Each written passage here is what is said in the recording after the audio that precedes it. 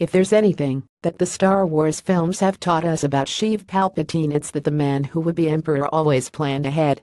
Order 66 proved that, and so did the Clone Wars. Does anyone really think that the Emperor didn't have plans in place for the unlikely event of his death? The new preview video from Star Wars Battlefront 2 reveals the Emperor's last command was meant to be his ultimate revenge. But Scorched Earth doesn't quite cover it. Palpatine's vision of destruction is more like a scorched galaxy. This clip is from Star Wars Battlefront II's single-player campaign, which puts players in the role of Inferno Squadron leader, Iden Versio as she goes on a 30-year quest to avenge the Emperor's death and bring down the New Republic.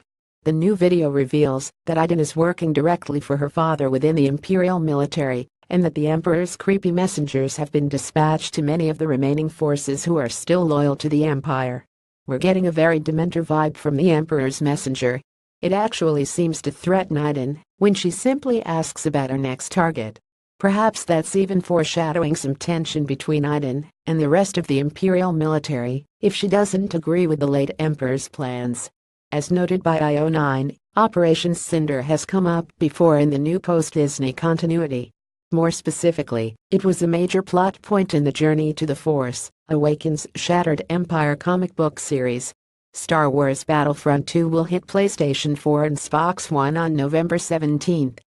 Are you intrigued by this peek at Star Wars Battlefront II's single-player campaign? Wipe them out, all of them, in the comments section below images eat more Star Wars dice, D, Lucasfilm, Star Wars, Star Wars Battlefront 2.